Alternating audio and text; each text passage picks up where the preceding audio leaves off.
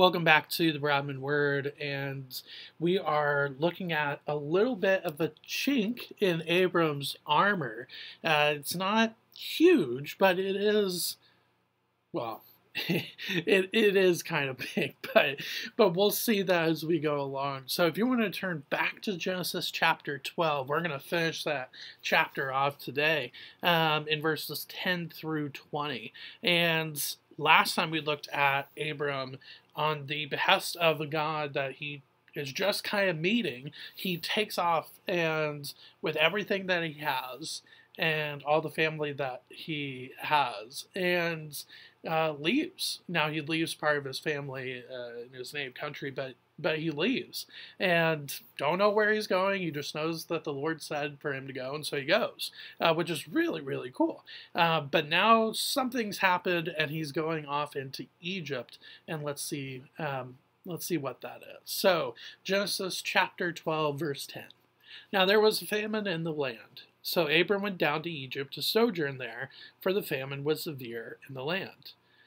So stop right there. First off, so it this is if you know if you've delved into scripture before the journey into egypt should make you go well wait a second this has been kind of a, a rough spot when it comes to scripture and really just leaving the land that god is is telling you to go to and going somewhere else even in the midst of famine I mean, you have you have uh, Jacob leaving um, the promise, leaving Canaan, the promised land, to go to Egypt because of famine. Now, granted, God is overlooking that, and He blesses Joseph, and He blesses the people of Israel, and they grow. But they eventually becomes uh, slaves in Egypt, and they live there for hundreds of years, um, and to the point where they have to have the whole entire book of Exodus happen to get them out of Egypt. Uh, but not only that, but then you have Ruth who leaves not for Egypt but for Moab because of a because of a famine, and she leaves Israel to do that, and in so doing that, she loses her husband and loses her brothers, not necessarily because of that, but that's what happens while she's there in Moab. Um, and so now we see Abram leaving uh, and what's interesting is the first part of chapter 12, Abram leaves because the Lord says. Here, we don't really see the Lord saying to go down to Egypt. Now, I think the verb sojourn there at the uh, right in the middle of this verse 10, I, I think that is interesting. Uh, it's a temporary stay. Uh, basically, that's what sojourn means. Um, so it, it's not like it's not like Abram is planning on living in Egypt uh, permanently, uh, but it is interesting that there is no there is no call from the Lord to live in Egypt. Really, the only time that that happens um, is the Lord accepts the um, he he. Uh, well, allows maybe is the right word, but Jacob lives in Egypt. He's okay with that for a time. But then the other one is when Jesus is being um, is being sought after by Herod in the in the Gospels, and he has to flee to Egypt um, for a time, uh, and the Lord actually says to go there. So I think that's interesting, um, to say the least. So but yeah, there's this severe famine in the land. So Abram, without the Lord saying to do this, just goes and goes into Egypt. But upon arriving there, he has this interesting, interesting proposal for his wife Sarai. Verse 11.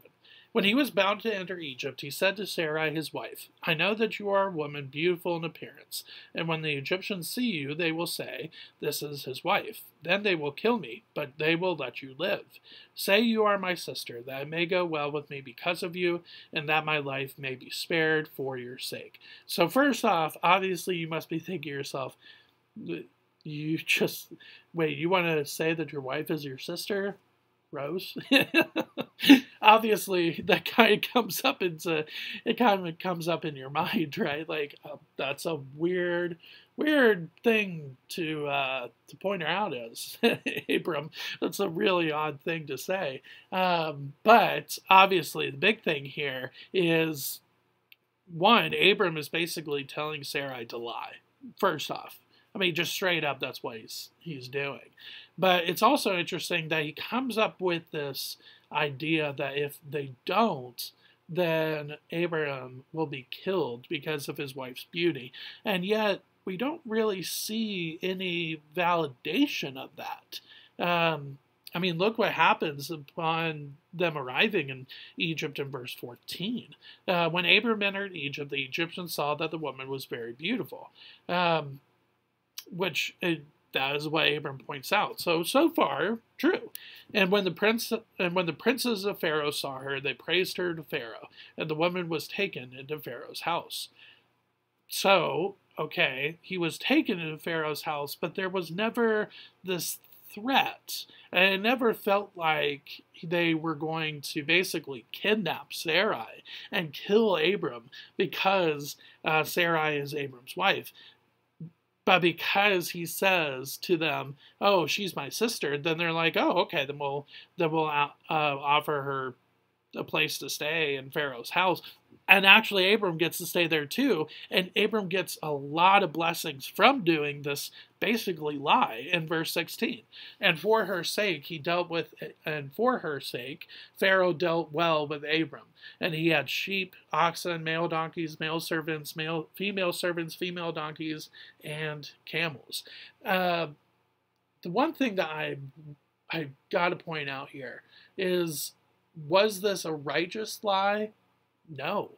I don't think it was. I mean, first off, again, we don't really see any validation that they would actually kill him because of his wife. Now, maybe that is a cultural thing at this time in ancient Egypt, but I don't really see that being the case. So, really, I think it's just fear. I think Abram is just fearful for what might happen to him, might happen to him. And so, because of that, he comes up with this scheme, uh, this lie, and he's blessed by it. And I, I think so. The question is that pops into my mind is God, is God basically blessing him because of the lie? No the Lord is blessing him because uh, he has called Abram to be his representative. Now, that doesn't mean that doesn't mean that he will just get off scot free uh, because of what he's doing. Because what's interesting is this same exact story happens uh, not just with Abram, but with Isaac, his son. And so I think that's really interesting that the father passes down this scheme to his son, not willingly, and probably not even directly, but he just does it. And it's possible that Isaac may have heard uh, his father Abraham tell him about this time that he and his mom was in Egypt, and maybe he remembered that and did that because of that. And if that's so, then that's bad parenting, and that's a consequence for the sin. Um, yes, he is blessed in this moment by all these things, but it it shows up a little bit of, of a consequence later on.